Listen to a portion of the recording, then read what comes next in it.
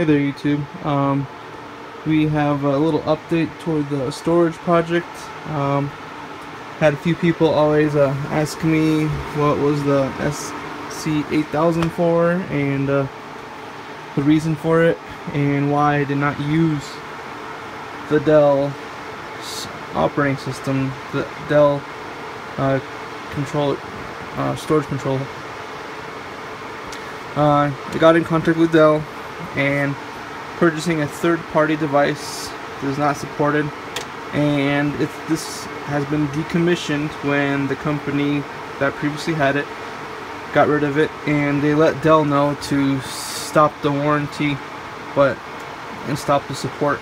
So even if I look up the service tag on Dell and everything else it says that there's warranty till 2017 but I can't do anything about it. So I have removed the Dell operating system and loaded FreeNAS and right now I have this uh, Dell Compellent SC200 filled with this is a testing simulation right now.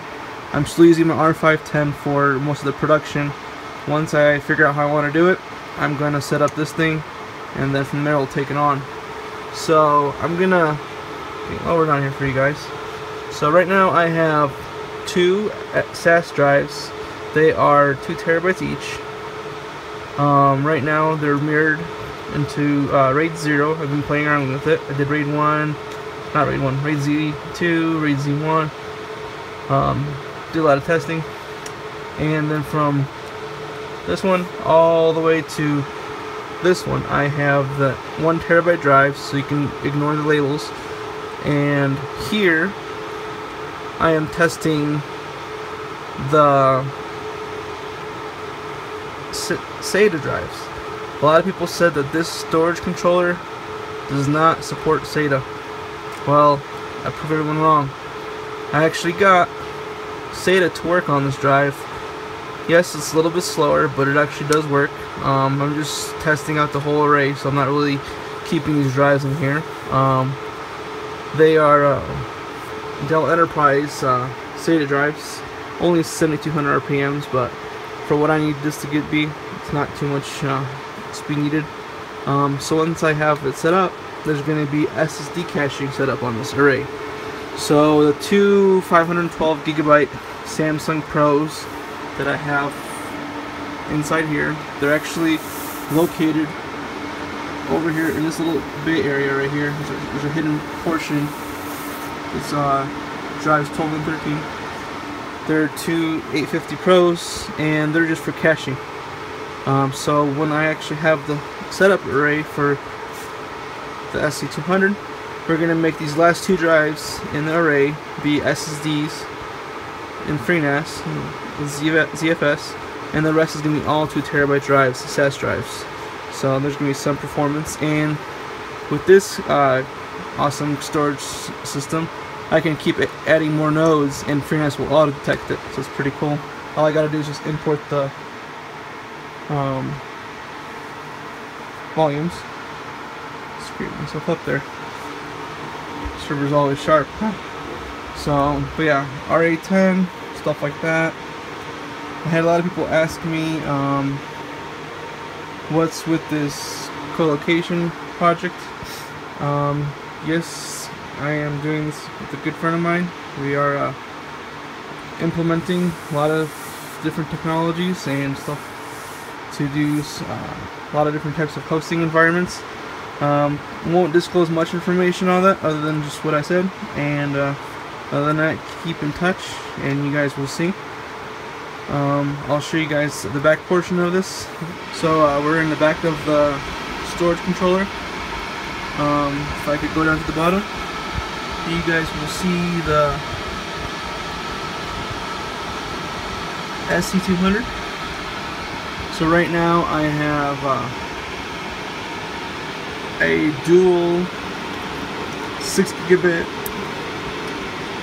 uh, SAS channel uh, HBA and uh, just really testing this over uh, really gigabit Ethernet even though these two yellow ports on the SC8000 these are actually 10 gigabit ports.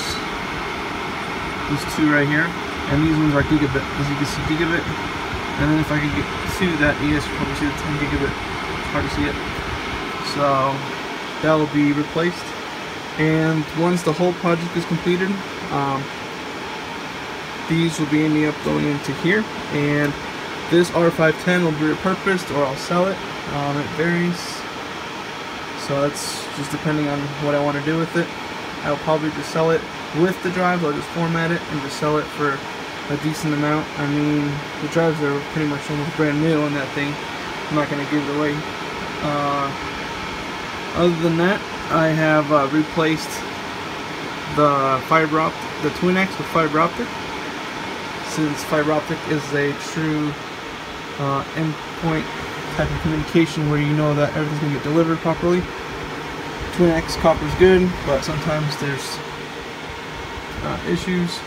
So, other than that, there's a little update for you guys that were uh, asking about how this compellent uh, type of high density setup is and the compellent is more of a SAN, not like a DAS unit where you just direct attach storage.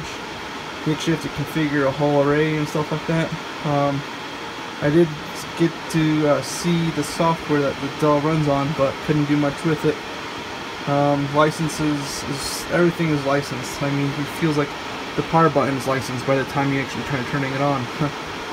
but um, yes, this is almost like an R720 um, pretty much same internals. It has two Intel Xeon E5s, uh, 64 gigabytes of RAM, and so once this is done, I think it's going to be very good uh, enclosure, uh, high density setup, and I will be getting more nodes to attach to my uh, storage, and uh, from there we'll be just scaling on.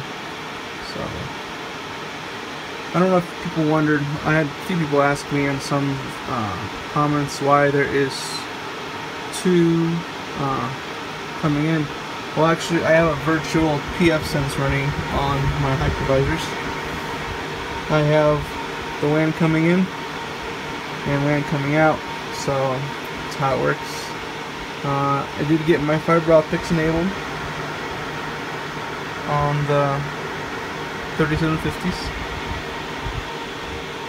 uh, a few uh, good buddies on the page asked me. So, other than that, uh, stay tuned, like, subscribe, share more videos, um, keep in touch, and uh, yeah, I'll see you guys later.